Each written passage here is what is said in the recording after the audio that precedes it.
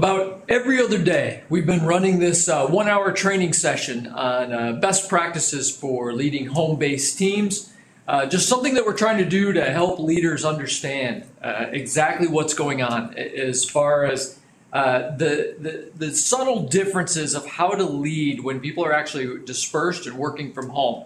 And boy, there are some differences. And so today's session is one we've been doing, as I said, uh, quite often for the last three weeks, and we've gotten a lot of feedback from people that it's been very helpful. Uh, the only difference today is that we're actually doing this on YouTube Live instead of Zoom or one of the other tools. And so uh, we're hoping that you really like it on YouTube Live. Now, the one thing I've noticed right off the bat is on Zoom, there's a beauty filter, and I actually look about 10 years younger. But on YouTube Live, which is in HD, I actually see how old I am and it's distracting and it's right under the camera. So I'm just going to try to look right into the camera from this point forward. Now, the other thing that we're going to do today is uh, we're going to communicate together in a little bit of a different way. So uh, I'm going to have you send me your questions over Slido, uh, and I'll, I'll, stop and be glad to answer anybody's questions at any time. So you're going to have open communication with me through Slido, uh, and then I've got a couple questions for you that I want to ask. Now, to get there on your mobile device, you just have to either go to slido, S-L-I-D-O.com, right, as we have over here, or above my head, you can see a different way to get to it, sli.do. Doesn't matter. But when you go to it, it's going to come up and ask you to put in a hashtag. You're going to put in the hashtag FPOV. And if you'll do that right now, it'd be helpful because I'm getting ready to send you a question and so I need you to uh, start answering for me. Uh, if you haven't logged in yet, the moment you get there, this will be the first thing that comes up is the question. So if you would just right now go ahead and start answering, put in what your thoughts are on the question, it would be great. So the question is, what has been the most positive aspect of the great pause of 2020? A lot of us, that's what we're calling this right now. The great pause of 2020 because we've had a pause in our lives, uh, pause in our businesses. Uh, and this is the most positive way we can look at this is by thinking of it as the great pause of 2020 as opposed to saying the great pandemic. I just like to be optimistic. Uh, so just curious about how people feel. Uh, what has been some of the good things that have come out of this? More time with your family, more time working from home, you learn more about technology. So just send in your answers, and uh, uh, I'm going to just go ahead and tell you kind of what, what the scores look like. That's going to be a little easier than trying to push all the scores up to the screen. Uh, we've actually got three people in the room today, and one of them, who is the producer, whose name is Weston, was very concerned about switching back and forth between screens. And so uh, I'll just read some results to you. So 53% of people said that uh, more time with family has been one of the big benefits. 31% said just working from home, like just simply working from home is better. Uh, 20% said learn more about technology. 17% said more time to do hobbies. Uh, 26% said don't have to travel for work. And only 4% said nothing. This has been an awful event all the way around. So uh, again, uh, one of the things that we have heard over and over again is one of the great benefits of this is just uh, the ability to spend some more time with family, which I think we all sorely needed anyway. So thank you. I got one other question I'm going to push to you. But again, let me remind you, you can send me questions at any time. Uh, I can see them. In fact, I can actually push them so you can see the questions also. Uh, so I'll push a few of the questions that are already coming in. Uh, all right. So a few are comments, a few are questions. Uh, obviously, uh, yep, we know you can see the results on the phone. Uh, we were just, that's part of the reason why we decided we didn't need to push it to the, to the background. Uh, as far as the getting somebody younger to do this, we have three younger people in the room right now. And if any one of the three of them want to jump up, that would be fantastic. I got volunteers. Nope. I got no volunteers, right? You're stuck with the old guy. I'm sorry about that. Uh, the biggest obstacle you see to leading remote teams, uh, we're going to get to that. In fact, uh, we'll get to that real quick because uh, the first thing that we want to talk about are what are the dynamics about how things are different. Uh, and if I just start going through some of these dynamics, it'll help me answer this question about what do I see that is the toughest thing. And if I, I'll, I'll, give you this list on the screen and then I'll, I'll answer the question because I don't want you to think I'm not going to answer the question quickly. So communication is not as rich uh, with remote people as it is in person. Okay, uh, even though you're seeing me on video right now, you can see my facial ex- expressions. Uh, humans, we pick up the energy from people. There's a lot of visual body language that we pick up. Even on video, you don't pick up all the body language, right? And so the reality is communication is just not as rich when you're not in person. And that's one of the things that is a dynamic that's different, and it leads to this one, right? It, it makes it more difficult to inspire people when you're not in person. Uh, and that one's a tough one because today, especially, this is when we need to, as leaders, be able to inspire people. Now, we got other dynamics as well, right? We can't see workflows the way we could when we all work together. Uh, that workflow could just be getting a presentation done.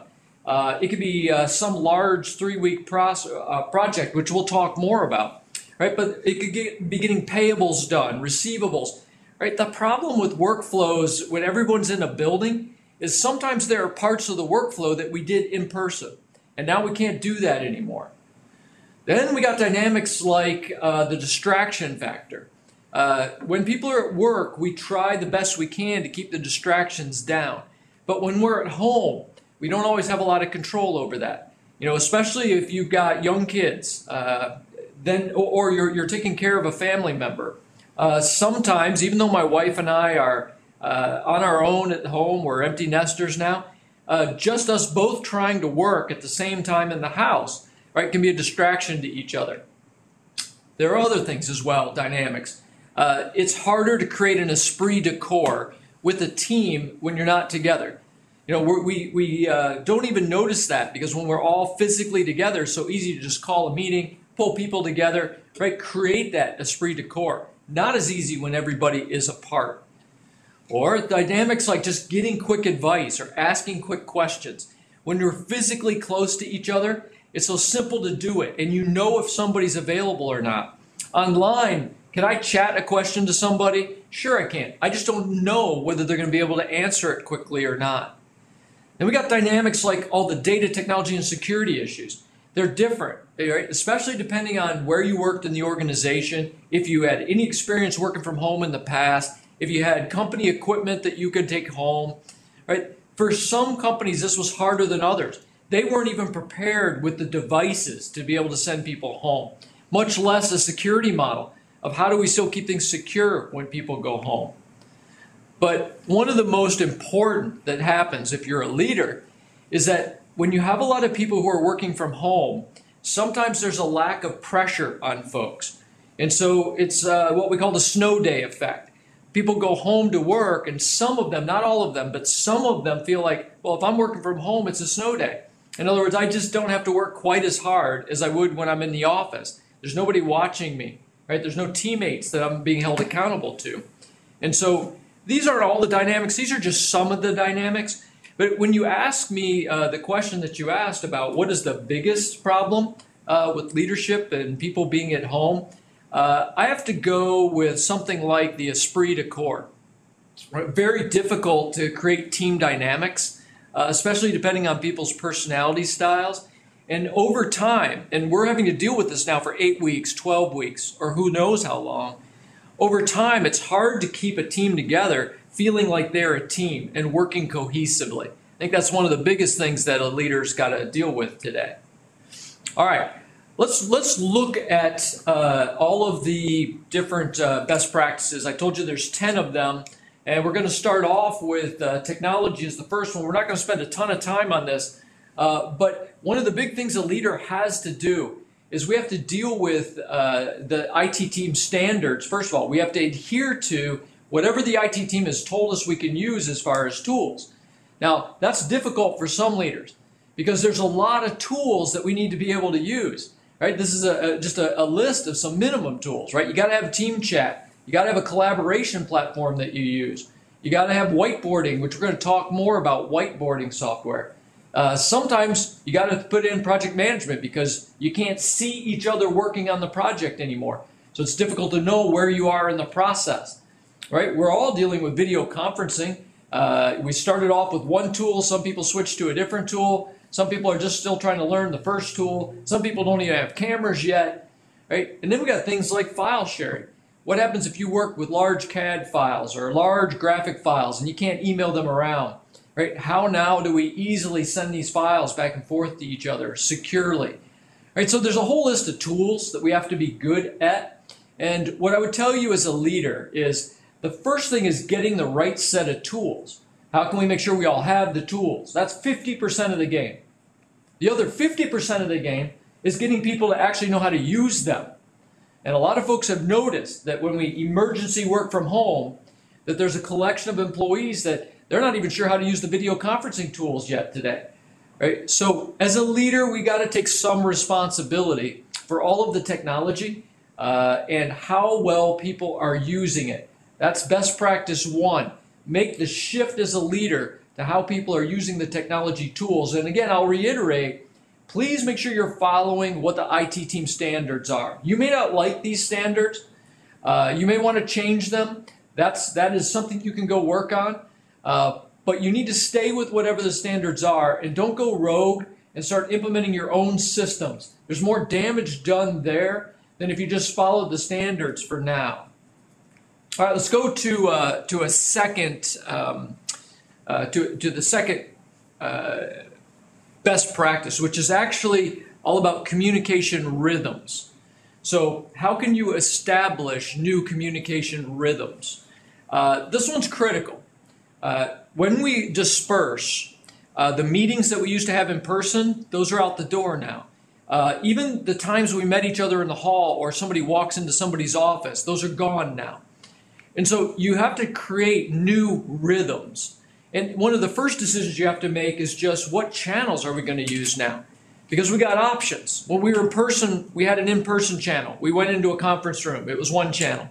Right, but we got other channels now. We got video, conference calls, you know, whiteboarding, email, right, chat. There's lots of different channels now for how we can communicate together. And so that's the first thing a leader has to do is get conscious of as I replace the in-person meetings, which channels are we going to use? Then you have to start understanding that communication is two different things. It's one, working with your team. How do you communicate with the whole team all together? How does the whole team communicate? And then how do you communicate individually with somebody who reports to you? And the rhythms for both of these need to change now. So for example, you may have had a staff meeting for one hour on Monday. Well, now the better way to do that would be 20 minutes or 30 minutes every other day. So you're talking more often, right? You need to speed up the rhythm for many reasons. Now, it's the same thing with individuals, right? You know, I told you there's three other folks here in the room. Uh, I have to really think about the three of them, right? We, we got Matthew, we got Weston, we got Corey. I have to think about, well, how often do I need to talk to each of them and which channel would I use? Because now I'm not going to see them in the office all the time. Then we got to think about things like how the people are adjusting to video or audio. So when we're working on the rhythms and speeding them up, we also have to be conscious of are we helping the people who are not used to communicating remotely get that skill? And that's something we have to take responsibility for as a leader. And we shouldn't be upset with people because they don't understand the mute button until we teach them about the mute button. Right? So we got to help people adjust to the new channels. I would highly suggest you do a couple more things. One is shorten the meetings. So some of us are already getting uh, video conferencing fatigue, having to sit uh, all day long. I, I, just was chatting with somebody this morning. He said he sat from 8 o'clock to 5.30 yesterday in back-to-back video conference meetings. Right, I'm having to do a lot of the same on some days. We need to shorten meetings. Meetings that used to be an hour, like I said, make them more often, make them shorter. Because you can't just sit at your desk all day long on camera. The other thing I would suggest is just add all of these things together with the goal of how do I change the rhythm to create meaningful alignment. You know, that's what you got to get back to as a leader, right? Again, you ask questions like, you know, what's the most broken thing with leadership when people all go home? Some of it's, like I told you, it's just keeping that team aligned. So you got to re-architect how you communicate and what those rhythms are so that you can create meaningful alignment across the whole team. All right, let's look at number three. Uh, this one is one that sometimes when we explain it, uh, people disagree with us. And so I'm just going to tell you our opinion on this. Uh, and then you should do your own. You should make it yours. So one of the first things that, that I will tell you about this is the professionalism model changes a bit when people go home. In other words, what we consider appropriate and professional when we work in an office could be a little different at home. But until we state that fact, it's difficult for home-based workers to know what is expected of them. And by the way, that's the number one thing we hear from people is I don't know what is expected of me when I went home. No one told me, and I didn't get a document. Hence the written, right? Written professionalism practices. This is something that you need to do. It's best practice number three for us. There needs to be a document that you've created that goes out to all your team members. Now, corporately would be best, but if you're a leader and you just have 10 people reporting to you, at least make sure you've sent them something in writing. Now, this is a minimum of what it should cover, right? It should cover things like when do you use video in an online meeting? I'm hearing all kinds of interesting things, stories from leaders about this. And uh, a CEO told me last week, you know, I got a problem because when I do my staff meeting, I have some of our people that refuse to turn their video on. And I've asked them if they will turn it on, and what they say to me is, "Well, I didn't wash my hair this morning, or I don't, I didn't get dressed up, or I didn't put my makeup on. I don't want to turn the video on." All right. You need to be clear with people that uh, that you it, there are rules for when you turn your video on. And the rules need to be if we're having a small meeting where everybody's participating, your video's on. We need that body language of seeing your face. Or if it's a larger meeting, when you talk, you need to turn your video on. You need to have rules like that. These need to be put into writing so that people are not arguing or thinking that they have a choice. Oh, well, I can use video or not use video depending on what I look like. Uh, by the way, that one's going to come up here pretty soon.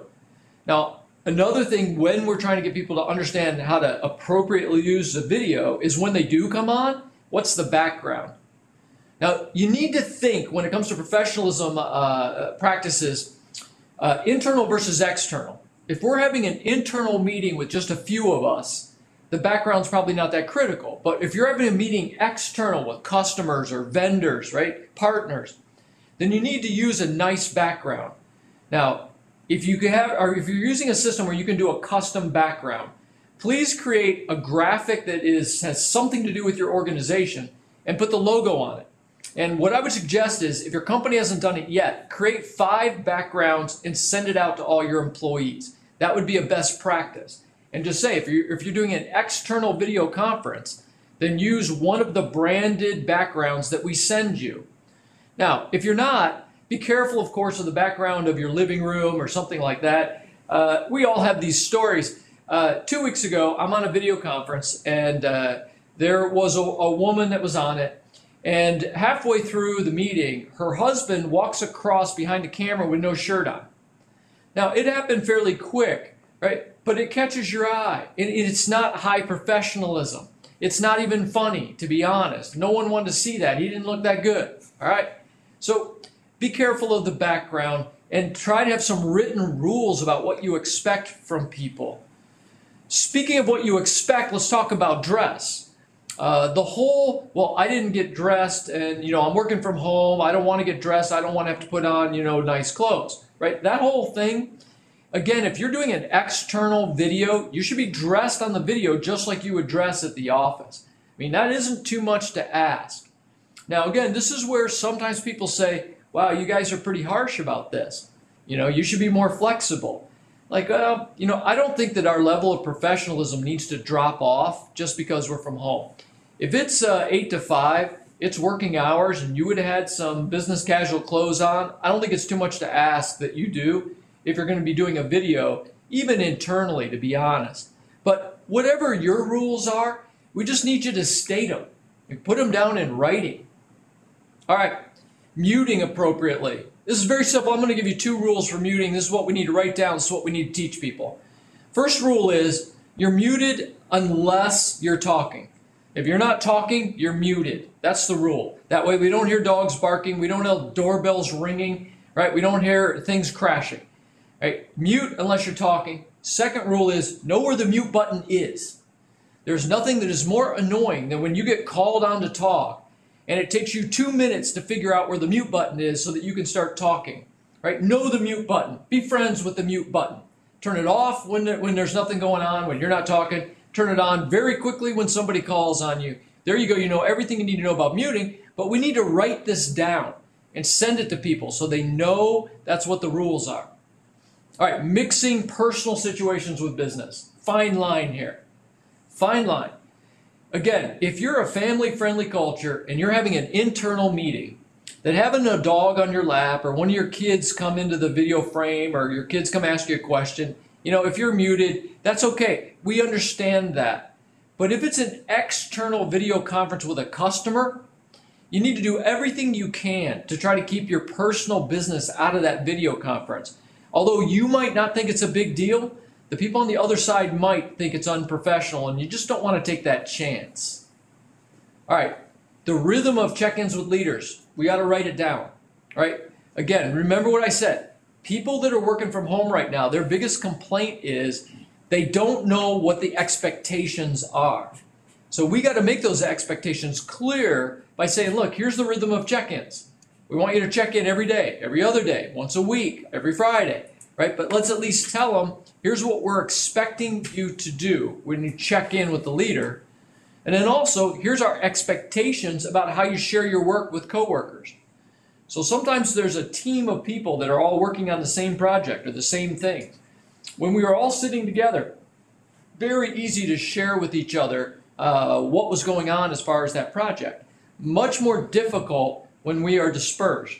And so we need to tell people here's how often you need to update everybody on your work. And finally, last one what are the expected working and communication hours uh, this one again is a little tough, right?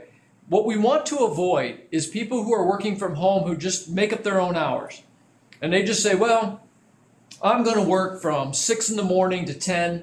I'm going to take four hours off from 10 to 2. I'm going to go for a run, right? I'm just going to take a nap.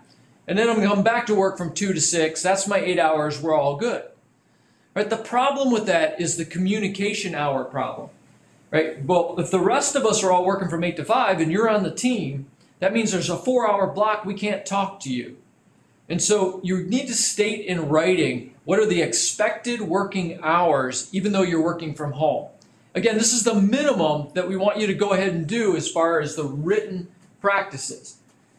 But I will also say, at this time, when you have a long term emergency work from home event, we need to be flexible. Right? We need to understand that there is a difference between somebody who is home with a bunch of young kids and then somebody who's home who's an empty nester or single. There just is.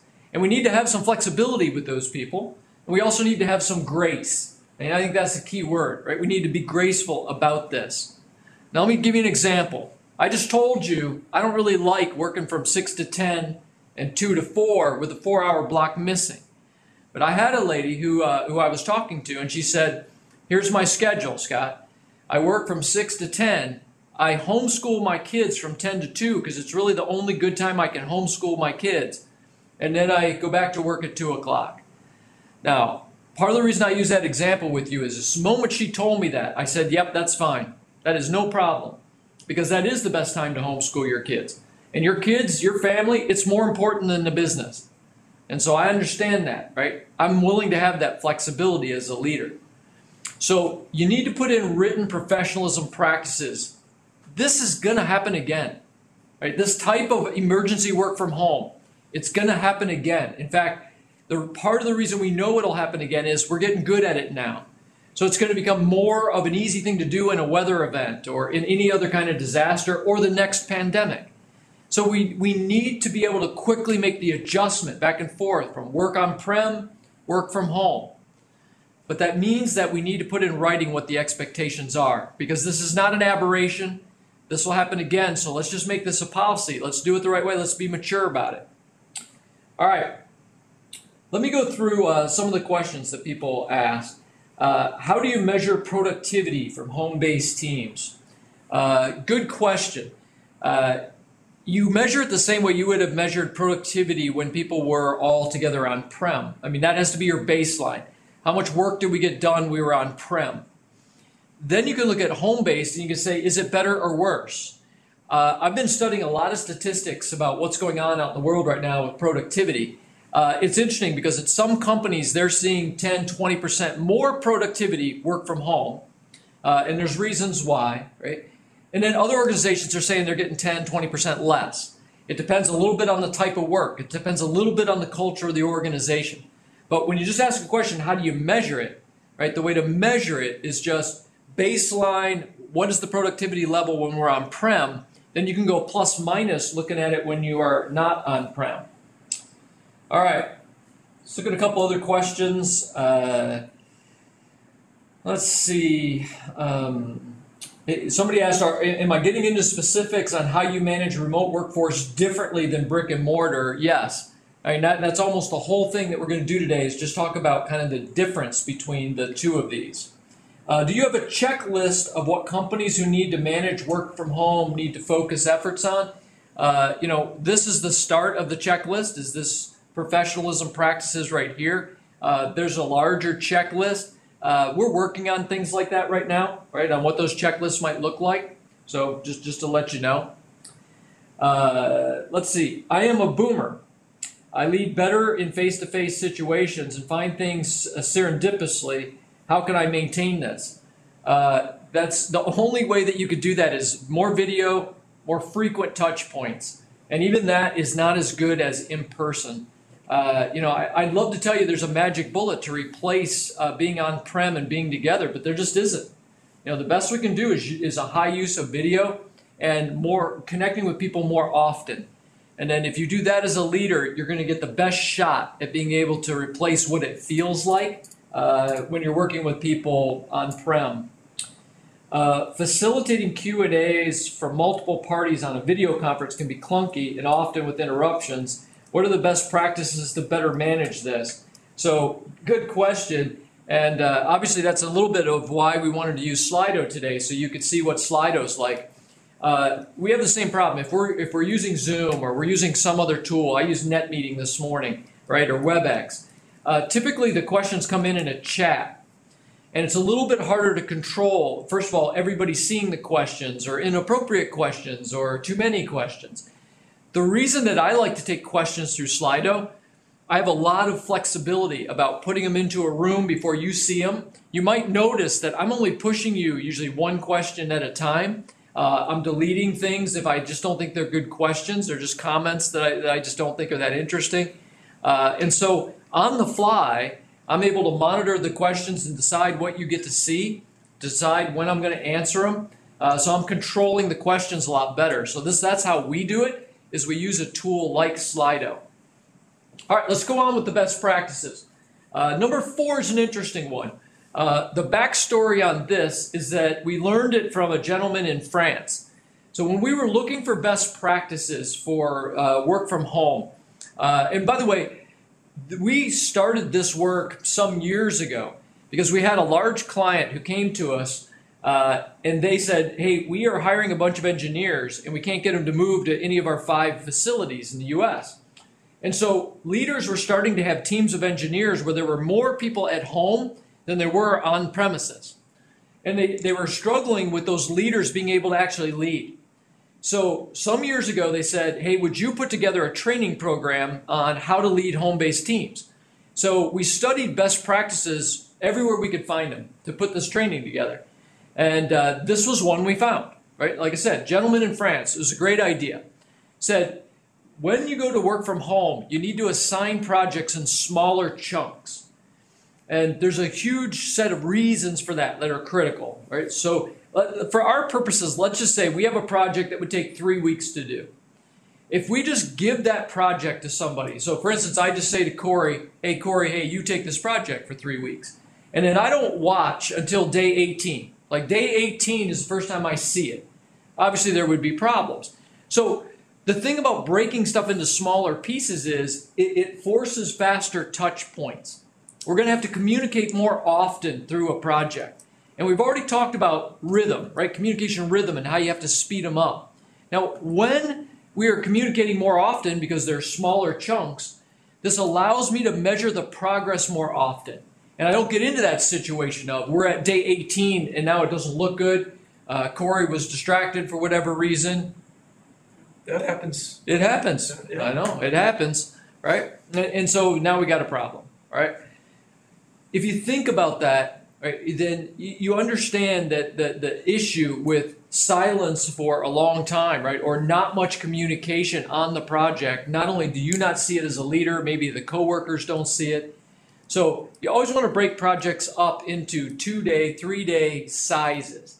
And I will tell you the most important reason to me that I found uh, when you break them up into smaller pieces, it gives you an ability to praise people more often. And that's critical, especially at a time like this. You know, people need to be uplifted, they need to be inspired, they need to be told that they're doing a good job. That's why it makes so much sense to break things into smaller pieces. Now I can talk to Corey every two days. I can say, Corey, you're killing it. You're doing fantastic. You're right on track. You're ahead of schedule. I love it. Keep going. Right? I can just give him some uplifting information if, if the work isn't that good, at least I can take the chance to say, hey, here's what we can do to make that better. I need you to get on it. Okay? So break things up into smaller pieces. All right, number five is uh, one that you've really got to think about, right? You really have to be conscious that this dynamic even exists. Now, there are some leaders who love DISC or love Myers Briggs or colors or, you know, all the different personality styles that are out there because it helps them understand people are different than them as a leader and how they might work with them. But there are other leaders who don't seem to have a lot of sense around personality styles. Well, I will tell you, when you start to go to a work from home model, well, you better understand some of the personality profiles. I'll give you just some samples so you see what I mean. One of the most well known is the difference between extroverts and introverts when they go home to work. Now, it, they may show up a little bit at the office, right, as being different, introverts and extroverts, but it shows up grand when they go home. Now, in the room today, I told you there's three more people. Half of us in the room, we are introverts, raging introverts. And half of us in the room are more on the extroverted side. So, Weston and I, we are introverted, and I mean we're over on the scale. And this is a true story. When Wes and I first heard about social distancing, when we heard that term, we were like, oh my gosh, this is our love language, social distancing. This is fantastic. And then when they said, you got to stay six feet apart, Wes and I were like, is that permanent? That would be fantastic. Right? Unfortunately, it looks like it's not going to be permanent. But anyway, we love uh, this whole social distancing, working from home, you know, no, not, not having to be around crowds. You know, it's great for us. But Matthew and Corey, right? They're more extroverted. Now, they're good, nothing good or bad with this, by the way, right? Weston and I, the problem with us is we'll go home and work and you may never hear from us, right? Because we're introverts, we don't need to talk to anybody else or communicate. Matthew and Corey, they might want to over communicate. They need the energy of other people. And so it's hard for them to social distance because if they can't do it physically, they want to do it on video. But you've got to understand as a leader the difference, right? Neither one's good or bad. But you're going to need to adjust how you operate with these two. But there's more than just that. Right? Think about how some personality styles need a lot of encouragement. Right? They need a lot of people uh, telling them that they're doing a good job, right, to keep them motivated to keep working. Whereas there are other personality styles, other end of the spectrum, right? They don't need anybody else's approval. They look in the mirror and they go, "Am I doing a good job?" Right? And that's kind of how I am. I don't really need other people to tell me if I'm doing a good job or not right? I always rate myself on what I feel like when I look in the mirror. Uh, but not everybody's like that. There are a lot of people, they need this positive reinforcement. We've got to make the mental adjustment as a leader because those folks, we got to be in touch a lot and we really got to be building them up. Or, same thing with the personality styles that love to innovate on their own versus those who like to innovate in a crowd. Right? So there are certain people, uh, and again, if I if I say where I fall, uh, I like to innovate by myself. Right? Give me a, a, a dark room with some music playing, and let me just clear my head, and I can think very innovative thoughts. There are other people, they need a crowd, they need to bounce ideas off. They're mashup artists, right? They don't like thinking by themselves, they can't innovate, right? They need to hear a lot of other ideas to be able to then throw in some more innovation. Two different personality styles. So if you're a leader and you need to do some innovative problem solving, you better understand that you better you can't give somebody who is a mashup artist that problem and send them off by themselves. Okay? Or I'll give you one more. Uh, there is a personality style that loves structure and schedules. And then there's a personality style that doesn't really care about those kinds of things. So I'm a don't care about structure and schedule quite as much.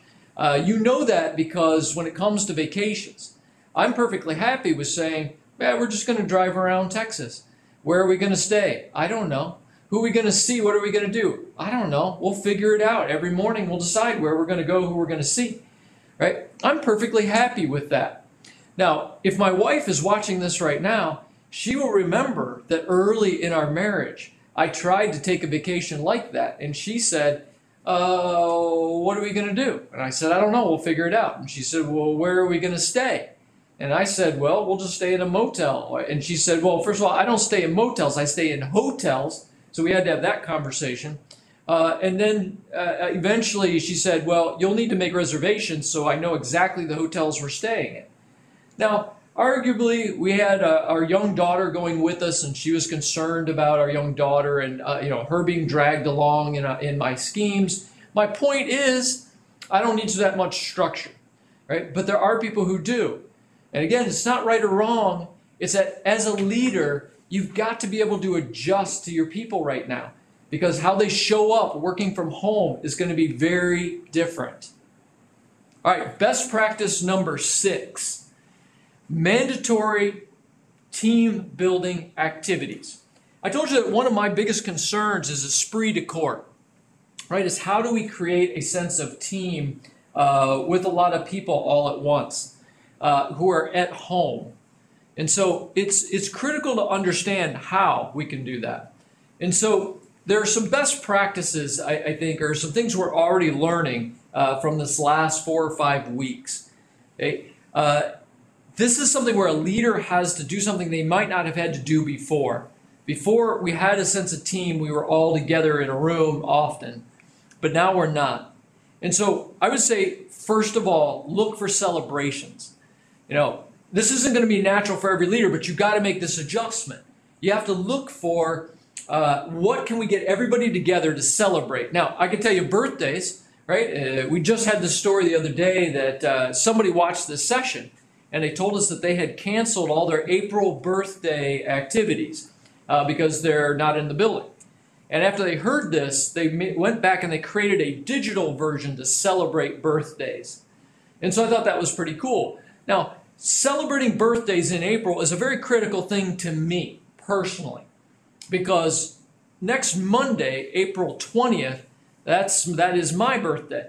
And I'm really concerned right now about what my birthday is going to be like during social distancing. So that's why I'm telling you, you got to figure out how to celebrate birthdays. But there's other things you could celebrate, right? Business wins, just the good things that have happened in the business, look for those uh, completing projects really well. Anything you can find to do a quick celebration uplifts everybody and pulls them together, you know, in a team. All right. Real-time brainstorming sessions. We talked about whiteboarding software, right? And the capability to get everybody together just like they would in a conference room and whiteboard. I, I, can see we have some whiteboards over here, and there's a bunch of notes all over them from some work we did last week, right? So whiteboarding is a natural way that we all are creative and innovative. But the cool thing is, if you pull together people to do a mandatory brainstorming event, you're going to find that helps create a bit of that esprit de corps. Like we're still solving problems, we're still doing innovation, we're just doing it remotely. So that's a good one. Uh, and then the last thing I would say is just uh, allowing your people to come together as a team and just present projects that they're doing right? It, it, they could be finished or they could be in the middle, right? But it's a great team-based thing that you might not have even done much in person, but now you can do. So, so you can get people together and just say, all right, show us what you got, Corey, right? And Corey goes and says, here's what I got, here's how far along I am.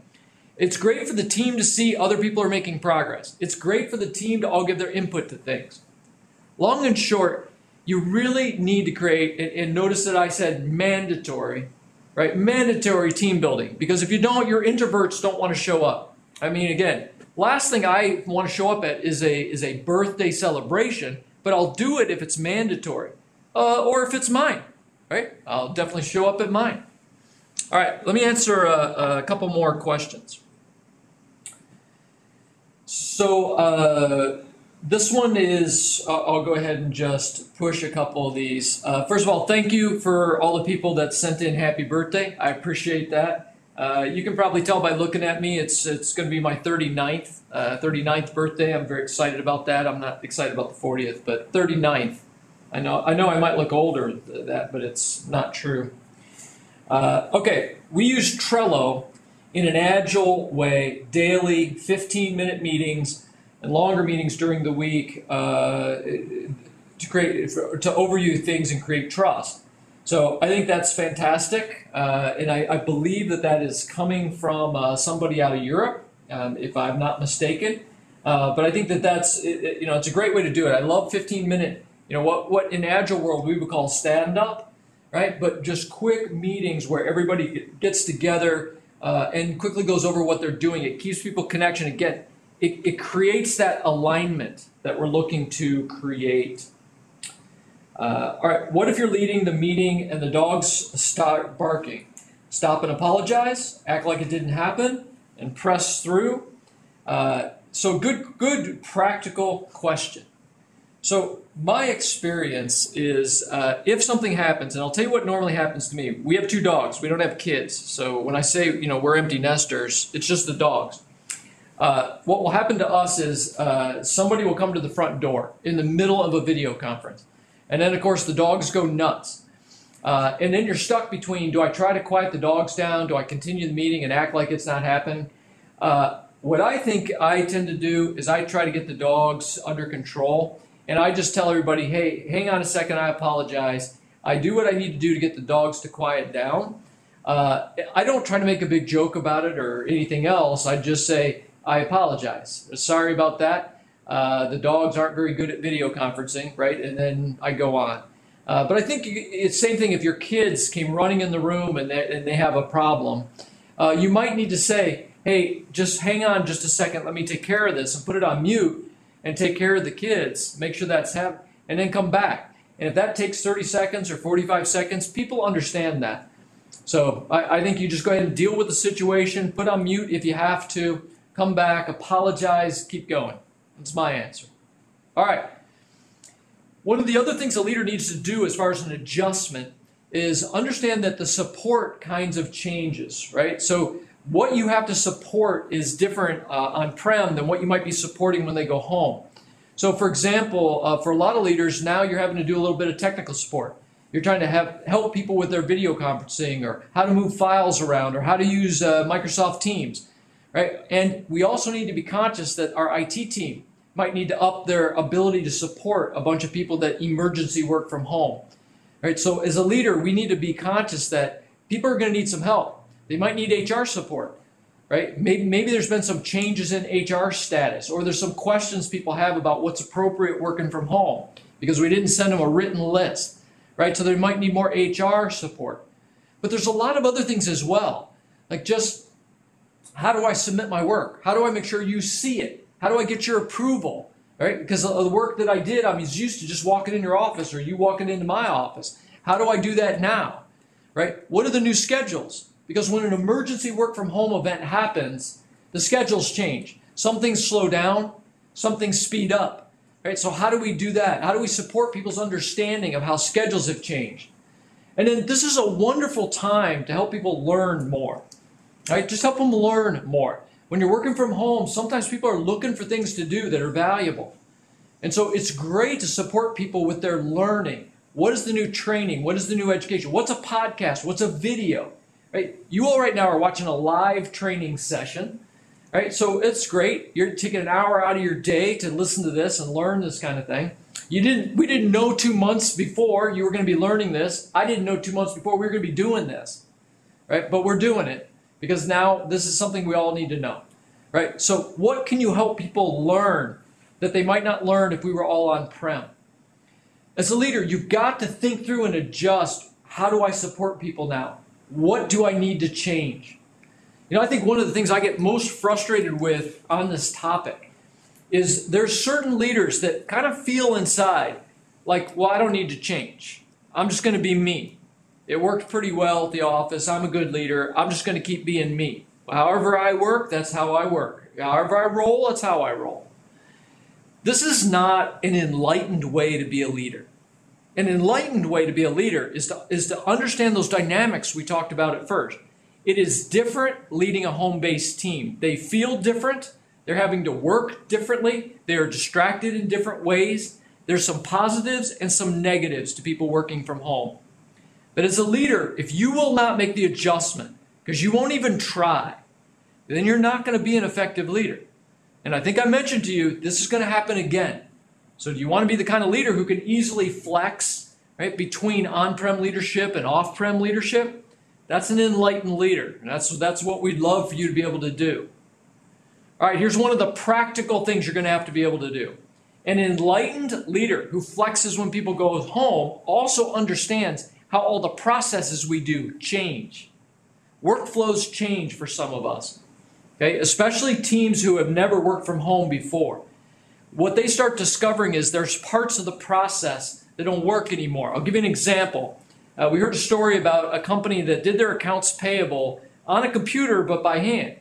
In other words, invoices got sent in, they okayed the invoices, they keyed them in, and then they printed a check, and then the CFO signs the check, and that was kind of their verification process along the way. Well, now here comes 12 weeks of work from home. They have to pay bills. Uh, so the system is not automated, and they're starting to figure out the workflow is different. But also, they rushed very quickly to automate it with a cloud based accounts payable system but now you're skipping steps. So now the CFO isn't signing the checks anymore, and stuff's getting paid and getting sent out that probably shouldn't. So as a leader, you got to understand how workflows change, and you got to be very knowledgeable, very, careful that we didn't just go into triage right, when we went to emergency work from home, and now we're doing dangerous things in the processes. Now, one of the things you might consider is that there should be two different process maps right? So every process, every system can be diagrammed, right? Maybe when the smoke clears, you create two diagrams. Here's the way it works when we're on-prem. Here's the way it works when we're emergency work from home. That way, when this happens next time, everybody knows very quickly how to change the processes. At least we should talk about these things. And remember, this is a perfect chance to do like the company did I just mentioned to you. They automated their accounts payable process, moved to a cloud-based system. They'll never go back to the way they did it before. They had to do it under an emergency. What I hope is that you as a leader can look at every process and say, well, maybe there's some automation we can do here. Uh, maybe you wait until, again, the smoke clears and uh, we're, we're on the road to recovery. Right? But this is a great time to look over your processes and say, what needs to be upgraded? What can be automated? Instead of having pieces that are done by hand. All right, number nine, this one is, uh, again, it, a little bit of a difficult one uh, sometimes to address, which is the problem that leaders have. Now, I told you the problem that, that at home workers have is not understanding expectations. The biggest problem that leaders say is I've got 100 people reporting to me that are all working from home. How do I hold them accountable? How do I make sure they're still getting the work done that they need to get done? When we all were in a floor of a building together, I could walk around, I could talk to people, I could see that work was getting done. But now I can't see it get done. And maybe I can see a little bit of it online, you know, or we talk about it every once in a while, but I cannot see it. So I'm uncomfortable. That's what leaders say. And so just some thoughts around holding uh, home-based workers accountable, right? Even though you can't see the work get done, I think you got to start from a place of saying, all right, I'm going to have very transparent communication with all of my people individually uh, so that I understand what their situation is. If I'm going to hold somebody accountable, I need to know what they're facing. I need to know if working from home is no problem for them Or if they're working from home with five young kids, a parent that they're taking care of, no office, and bad bandwidth, which is not their fault. They didn't know that they were going to be sent home to work. Right? You, but you got to have transparent communication with people so you understand what situation they're in. Now, once you understand that, then you can start going back to the practical things like, all right, the rhythm. Let's speed the rhythm up. All right, Let, let's do a really good job of making sure we're talking more often because then I know I can hold you accountable a little bit better to get work done. I can ask you all the time how you doing. You can tell me if you're not able to get your work done in the best way, or we can at least work on it together. And I would say, expectation thing. If you don't share in writing, if you don't share clearly with your people what your expectations are, again, it's very difficult for them to know what you are uh, requesting or what they're what they're even going to be held accountable to. And the rules are a bit different. They they just are. Right? When when we all worked together, there was a set of rules and there was a set of mores and expectations. But when everybody went home, that that did get changed. Right? So you need to be very clear about communicating expectations, especially new ones. Because right now there's going to be a whole host of new expectations. Like how do we recover? When do we start coming back to the office? Who's going to come back? Uh, are we going to wear masks when we come back? Or how about this one? When we come back, how long will it be before we have meetings? Because maybe we all come back, but we still practice a little social distancing. We don't have meetings all in the same room. Right? We need to be able to set these expectations very clearly with people and not just have everybody come back to work on a Monday and we've not told them what we want to continue to do to try to stay safe. But I'm going to say again uh, what I said before. When it comes to holding people accountable, let's be sure to be flexible, okay? Let's be graceful. How we hold people accountable might have to vary. We can't just do one size fits all. It, may be true that there are some of our people that are in a better working situation that we can hold them accountable to do the same amount of work or more. Whereas we have other people that, are, that have a lot of distractions and they got a bad hand dealt working from home, and we can only expect them to get 75% done. It, we've got to be flexible and graceful with people during this time. This isn't any time to be pounding on people uh, that, that have been dealt an unfair hand that never planned on going and working from home. So, yes, we need to hold people accountable, but let's try to be a real human about how we actually do that. All right, security. Uh, the security model changes when we do an emergency work from home event. Uh, there can be a lot of things that you had to do practically. Now, not everybody, but some organizations, they weren't ready to send whole groups of people home. And when they did and, they, and those people needed to work, they had to have access to VPN. Sometimes they had to have new access controls put in place. Uh, sometimes they had to have whole new passwords. Right? There was a lot of things that had to change when the people went home. Well, you're going to have to have a model for how you reverse all that now when they come back. Right? These are all things a leader's got to be thinking about, not just IT, right? Not just the security department. You, as the leader, have to be thinking about these things. Just like you have to think about things like uh, the storage policies, right, or transfer policies on big files, right? Is it appropriate if they're using their home devices right now, right, to store big files? Is it appropriate for them to use Dropbox and they've never used Dropbox before, right? You're going to have to help people understand what's okay and not okay from a security standpoint for your organization. Hey, one of the new things we've had, right, a new word in the lexicon, Zoom bombing, right? We have problems with people uh, sitting in meetings that they shouldn't be sitting in on, or people who are coming in and vandalizing meetings just for fun. Right? A lot of teenagers that are home with nothing better to do. Right? So you need to be very careful about not allowing somebody to disrupt a meeting, or that there's somebody sitting in a meeting that they shouldn't. If you're in a large organization, right, there's a chance that somebody from another department's just sitting in one of your meetings just because they want to see what's going on. And that might not be something that you want. So be very careful about who is attending. Now, we didn't care on this. That's why we're fine doing it with YouTube Live. You know, we're just trying to give helpful information out. So we didn't really care who joined it. But we are completely controlling what people say and how they might be able to impact each other. All right. If you are work, people are working from home, you need to make sure you give them the advice on these last three things. Like make sure they're logging out of the network. If you have a bunch of people that have never worked from home and they've never gotten onto the network from home, make sure they understand how to log out. Right? So family members or somebody else isn't stepping up to the computer and it's still logged into the system. Right? Make sure if people took home equipment, it's not going around in their back seat where somebody's going to smash and grab it out of a vehicle. Right? And then make sure people understand don't hand a company laptop to your kids and let them start tooling all over the internet with it or posting on social uh, because everything they do on that laptop probably is going to get stored and somebody at your company is going to see it.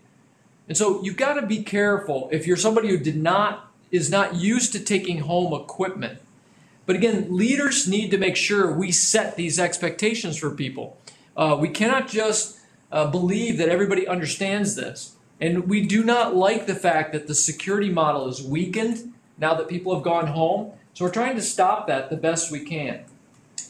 All right, a couple other questions uh, that I just wanted to uh, answer. We use Teams meetings both for groups and individual chats. I pose a daily question just to get feedback, such as what is the least used item working from home? Uh, so that's a great comment. Uh, what I've heard a lot lately is very intelligent questions people are asking, right? Really good questions.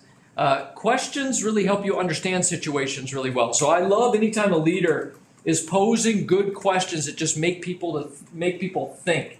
So I think that's great.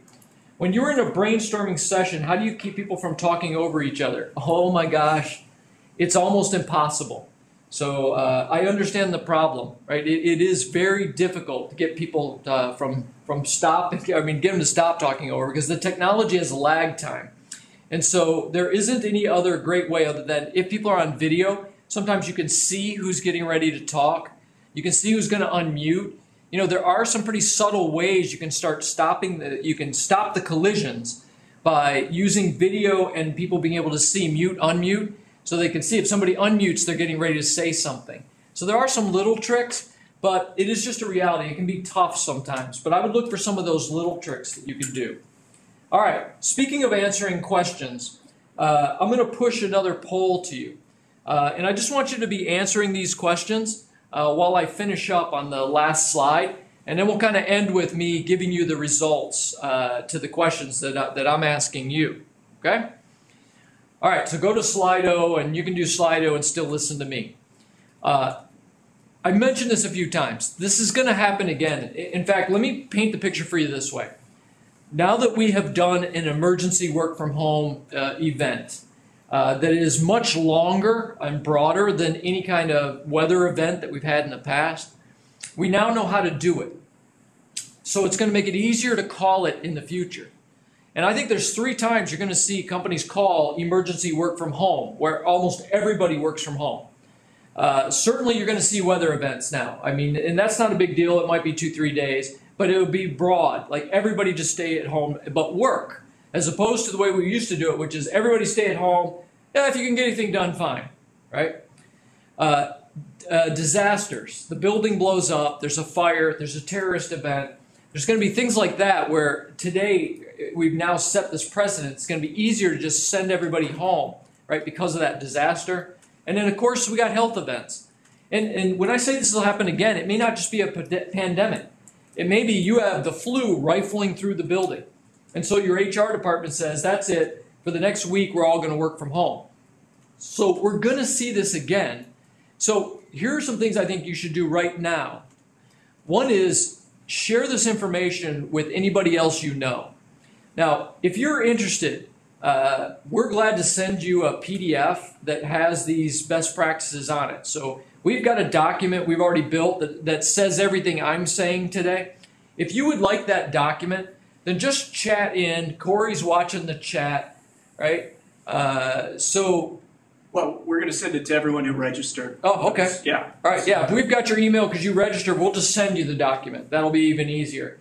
So just look for that document coming from us uh, and share that document with anybody that you would like. That would be great. We're glad for you to do that but share this with other people. Like we're, we're doing this for free because we're just trying to help leaders do a better job during this time. Get that written document created, right? So the written document we said that shows the expectations for home-based workers, get that thing done. right? Let's get that out. Let's not just talk about it. Let's get that done. And then this is critical. Get ready to build a, playbook. I, I told you there's three playbooks you need to build: a health, emergency work from home playbook, uh, a playbook for disaster, and a playbook for weather. And those playbooks need to be split in half. The first half of the playbook needs to be how do we make a call to go home based and how do we enact it. The second one needs to be how do we unwind it? Because that's what we're getting ready to have to do now. We're getting ready to have to unwind eight weeks, 12 weeks of people working from home.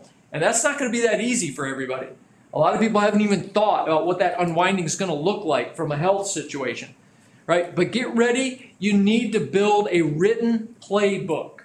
Again, if you need help from somebody like us, it's great. We're already building these playbooks, right? Just reach out to us and tell us you need a, a playbook and we'll talk. The last thing, this is just about being a good human. So, during this time, you know, we're all learning that we're much more connected than what we thought. Uh, please be a good human and reach out to people who need it. And I don't just mean people on your team. When you know somebody is alone, right, and they're home alone quite a bit, uh, if you know somebody's fallen into depression or fear over all of this, reach out. Like, let's reach out. Let's not be islands. Let's be good humans and reach out. Right? That's what the world needs right now. Is is especially leaders, us as leaders, uh, reaching out and getting other people to reach out as well, so that we can kind of get through this the best we can get through it. All right. So on this one, which statements do you agree with?